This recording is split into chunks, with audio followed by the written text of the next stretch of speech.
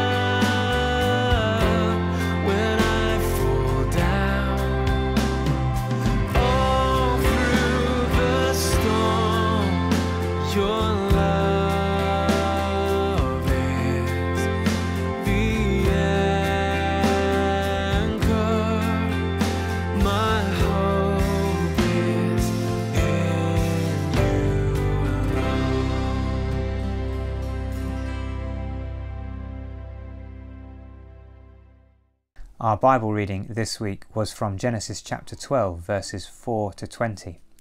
It'd be a great help if you could read that before listening to the sermon, so you might need to pause this video to go and get a Bible. And if you've just been to get a Bible, welcome back. Let's pray together. Heavenly Father, we thank you for your word.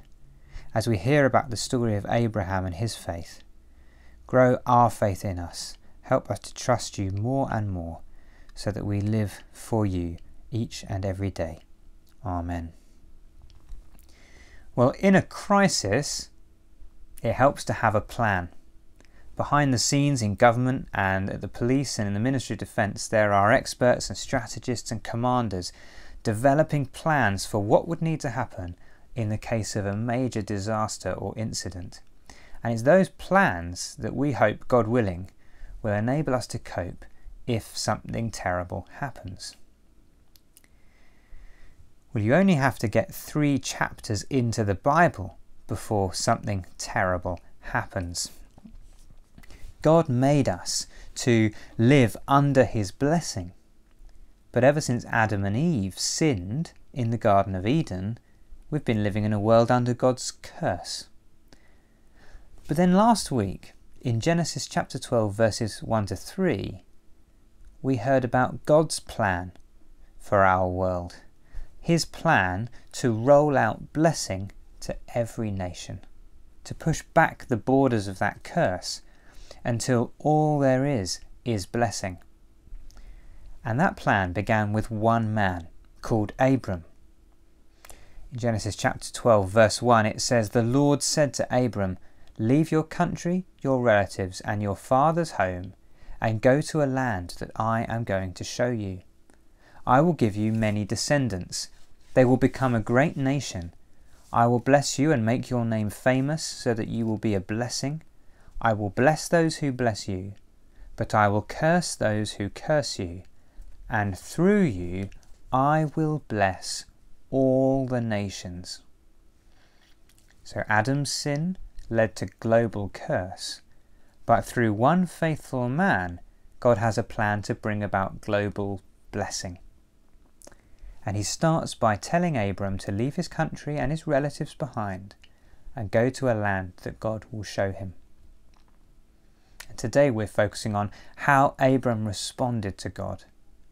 And he responded in two ways. Firstly, with faith, which leads to obedience, but then he acted out of fear, which leads to sin. But through it all, we're going to discover that when we are faithless, God Himself always remains faithful. Well, let's begin with Abraham's faith. This is verses 4 to 9. It begins when Abram was 75 years old, he started out from Haran as the Lord had told him to do and Lot went with him. Now it couldn't have been easy. He had a lot to leave behind, but Abram went. It said he set out, set out towards a place called Canaan, as the Lord had told him to do. He obeyed. And why did he obey? Because he trusted God. He'd heard God's promise and he trusted it. That's what faith is trusting God. And because he trusted God, Abram and his household walked 450 miles to Haran, from Haran to a place called Shechem, without another word from God. But God was about to ask Abram to trust him even more because when he arrived in Shechem, God appeared to Abram and said, This is the country that I am going to give your descendants. So it turns out Abraham hasn't arrived in Canaan as its new owner. It's his descendants who will be given the land. Abraham's job is to simply live in a tent in Canaan until the day he dies. Well, maybe he should go back to Haran. This seems crazy. But what does Abram do? He pitches his tent, he builds an altar, and he begins to worship God in Canaan. This is Abraham's response of faith. It's the right response to God. He just trusts Him. And the same goes for us. The right response to God is to believe Him and to live like we believe Him, even when the cost is high and there are more comfortable options available. The trouble is, even though God is completely trustworthy and we know we can trust Him. Our faith, it's often shaken by fear, acting out of fear. Well, that's what Abraham does next. This is verses 10 to the end. You know, God promised, He promised to bless Abram in Canaan. He promised Abram his descendants would be a great nation. But then there was a famine. Remember the empty shelves in the supermarkets at the start of the pandemic? It's scary. Famines are bad news. Wandering about living in a tent, Abraham had managed to trust God's plan. But as the food supplies began to run low, fear crept in, and as a result, he sinned. God had promised to bless him, but when the famine came, what Abram chose to do is rely on Egypt. Verse 10 says there was a famine in Canaan, and it was so bad that Abram went farther south to Egypt to live there for a while.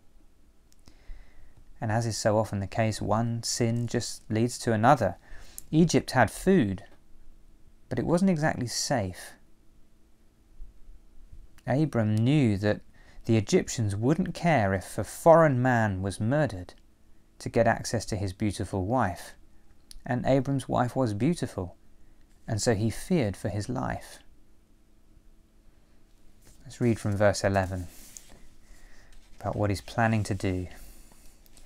When he was about to cross the border into Egypt, he said to his wife Sarai, You are a beautiful woman. When the Egyptians see you, they will assume that you are my wife, and so they will kill me and let you live. So tell them that you are my sister. Then, because of you, they will let me live and treat me well. What a mess! God had promised to bless Abram, but now he's relying on Egypt to look after him, even though it involves taking off their wedding rings and pretending that his wife is his highly eligible sister. But from Abram's point of view, afraid of being killed, the plan kind of works. Verse 14 tells us that the king of Egypt himself takes Sarai in to be his wife and treats Abraham really well as a result. He gives him flocks of sheep and goats, cattle, donkeys, slaves, and camels. So it seems like Abram's plan has worked. But what does God think when he sees Sarai in Pharaoh's bedroom? While Abram's in Egypt, you know, there's no mention of God speaking to him, no mention of him worshipping God. And as we'll see, he's hardly a blessing to this nation. He might still be alive, but the fact is, Abram has got this badly wrong. The wonderful thing is about God that even when we are faithless, he remains faithful. Remember how God said to Abram, If anyone curses or dishonours him, God would curse them? Well, he did. Verse 17 says, Because the king, the king of Egypt, had taken Sarai, the Lord sent terrible diseases on him and on the people of his palace. Then the king sent for Abram and asked him, What have you done to me? Why didn't you tell me that she was your wife? Why did you say she was your sister? And let me take her as my wife. Here's your wife, take her and get out. And because God cursed Pharaoh, Abram gets his wife back. And the Egyptian border force does them a favour and deports them to Canaan, which is where they should have been all along. And on top of that, Abram gets to keep Pharaoh's sheep and cattle and donkeys and camels. So, despite his sin, God brings Abram back to Canaan richer than when he left. He kept his promise to bless Abram and curse those who curse him, even when Abram sinned. Now we know that God is loving and kind, but actually, this is a real surprise that he treats Abram this way. Because Adam's one sin led to global curse. So, how come sinful Abram could be the bearer of global blessing? And why should we be the receivers of any blessing from God when, like Adam and like Abram, we too often sin? Well, the reason Abram's sin didn't disrupt God's promise is because the promise doesn't depend on Abram, doesn't depend on his son Isaac, his grandson Jacob, or the nation of Israel, or us.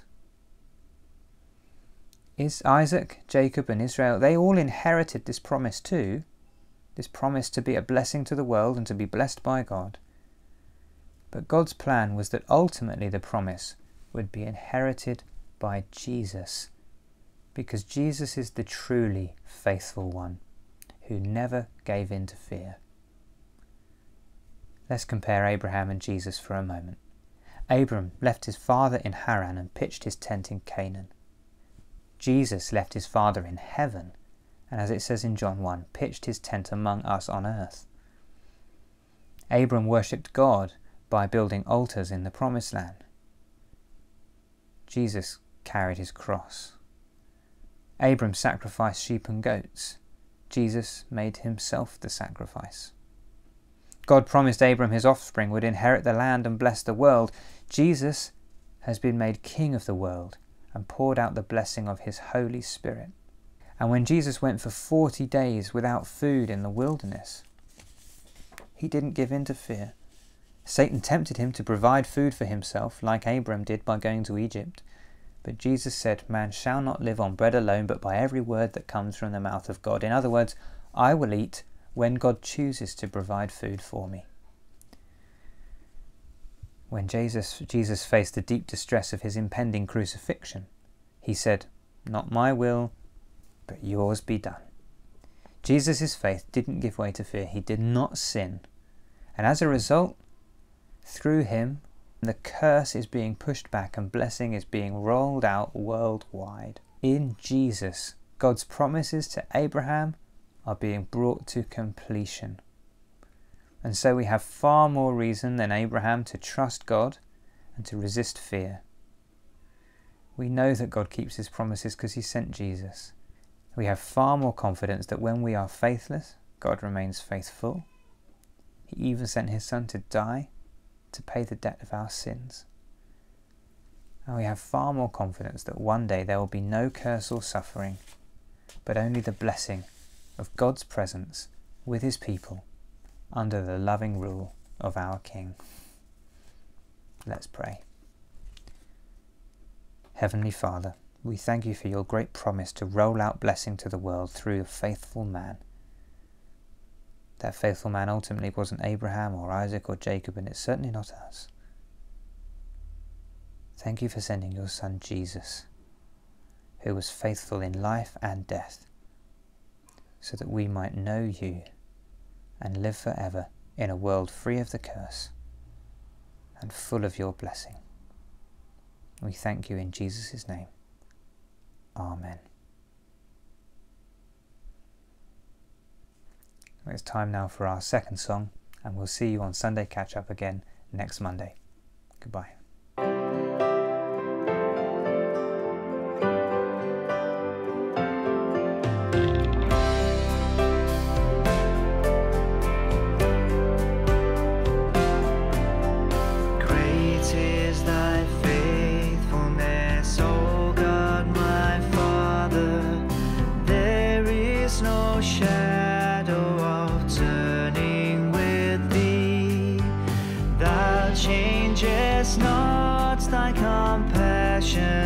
They fail not. As thou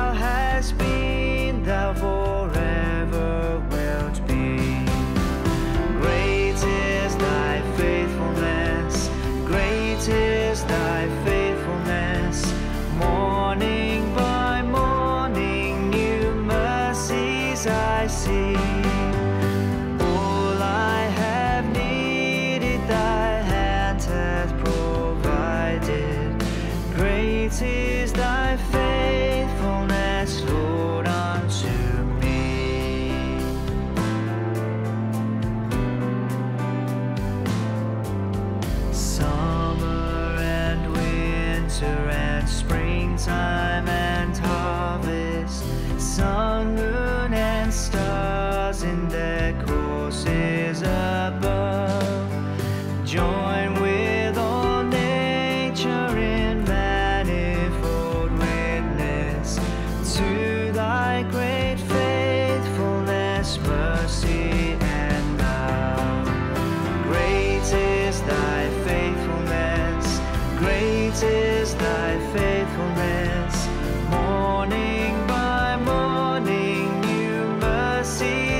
I see.